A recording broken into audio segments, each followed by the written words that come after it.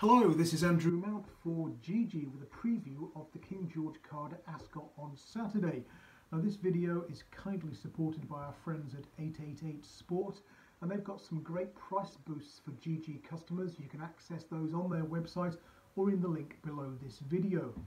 Now we kick off with a six furlong maiden. The stalls are in the middle of the track today but it's possible that some of them will try to come stand side because that was a big advantage in the five furlong handicap that closed the last Ascot meeting, with the four highest drawn horses in the field of 19 finishing 1, 2, 3 and 4.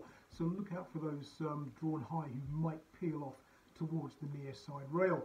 Now, uh, it could pay to side with Richard Hannon in this race. Um, he's won this four times in the last five years and he wasn't represented in 2017, the only year he's blanked recently. His father, Richard Hannon Sr., also did well in this contest. Now he's got a 220,000 guineas newcomer in the shape of Mohawk King.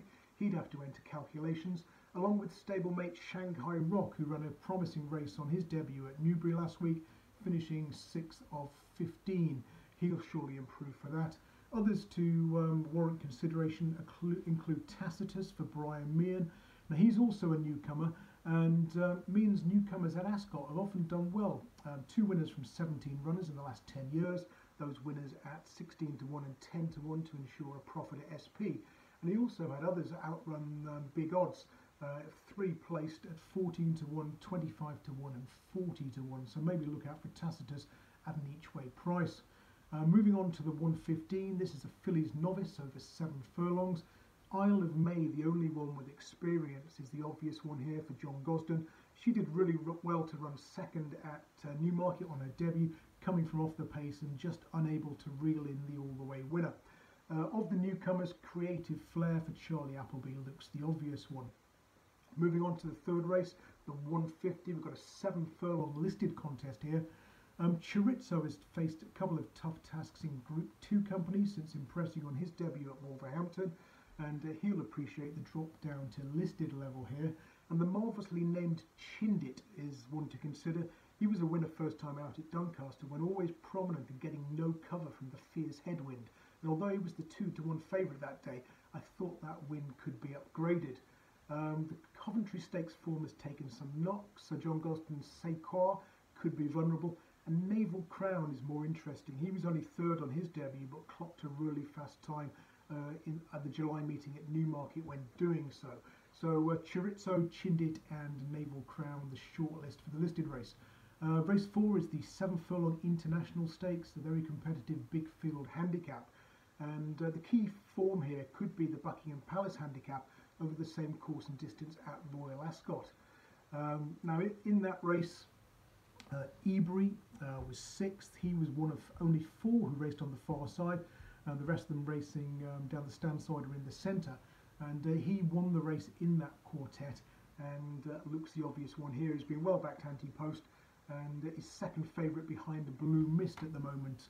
Uh, Blue Mist, of course, has, uh, has, been well found again. Looked unlucky at Royal Ascot, but that, that's Blue Mist for you. He's only won once from 12 starts since winning on his racecourse debut. He often comes there travelling, but doesn't always find, and there's no guarantee that he would have found for pressure had he enjoyed a clear run last time out. So don't be suckered into taking a short price about him. There's a couple of others who ran well in the Buckingham Palace who also uh, come here. Cliffs of Capri. He was fourth that day when I tipped him up uh, in my video blog and on my blog on uh, gg.co.uk.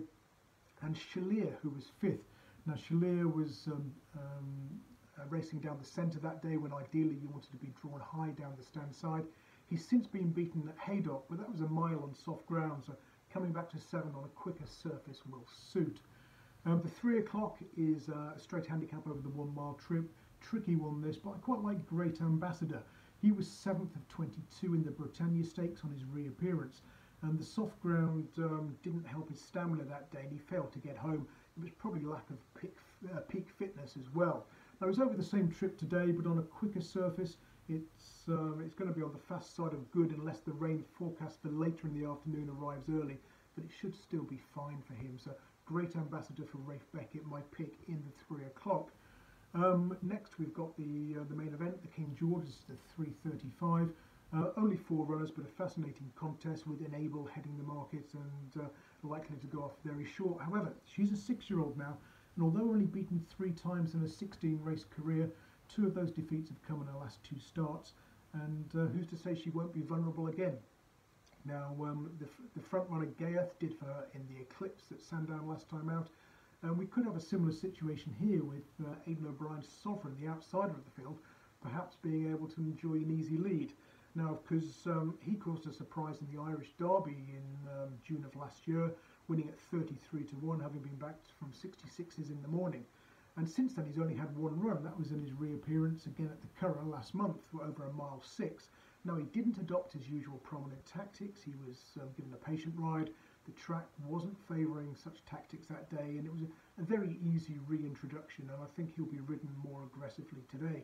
So, although he's got a couple of shorter price stablemates in the shape of um, Japan and Anthony Van Dyck, who's to say that Sovereign won't get loose on the lead and be able to do what he did in last year's Irish Derby, and he'll do for me. Uh, the 410 is uh, a tricky handicap over a mile and a half, but I quite like Mascat here for Ralph Beckett. He was only fourth of six at uh, Newmarket last time, but that was a steadily run affair that favoured those who were up with the pace. The, the, first, second, and third were on the front end throughout, whereas Mascat was best of those who came from the back. So uh, hopefully there'll be a, a, strong pace which will suit him because he has taken a keen hold on occasions, although didn't last time. Uh, Mascat can come through late and pick up the pieces. Um, moving on, the 445, it's nursery season. These races are tricky at the best of the uh, best of times, two-year-old handicaps, and um, um, this one looks particularly open, even though there's not a huge number of runners. Now, Grantley is the one I like here for James Bethell. He clocked a really good time when winning from off the pace at Redcar on his uh, racecourse debut. That's hard to do on the straight track there. That was over six furlongs. Stepped up to seven next time at uh, Musselburgh. A steadily run contest didn't suit his running style, and the 33 to 1 shot winner uh, was allowed to make all. He did well to finish second in the circumstances, and uh, I think this track is going to be more amenable to his running style. I think he'll be suited by returning to a straight course as well. So um, Grantley for this tricky nursery. Finally, uh, we're moving on to the two mile handicap, and uh, one I really like here is Sleeping Lion for James Fanshawe. Now, Fanshawe's runners are generally ridden patiently, and uh, that would have been ideal if Sleeping Lion had adopted those tactics at Newcastle last time, but he was ridden more forward than usual.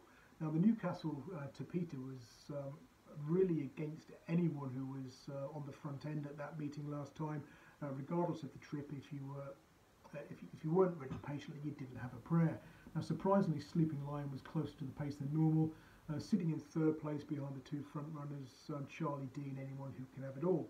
Where, when they folded, he found himself in front a little bit too soon, I think, about half a mile from home, which is way too early at Newcastle. And he's done well to only finish uh, a length and a quarter behind the winner, Cosmelli, in second. Cosmelli reopposes today, but he was ridden patiently at Newcastle. And I'm confident that reverting to patient tactics can see Sleeping Lion revert to winning ways and, and say he's the nap on the card for me.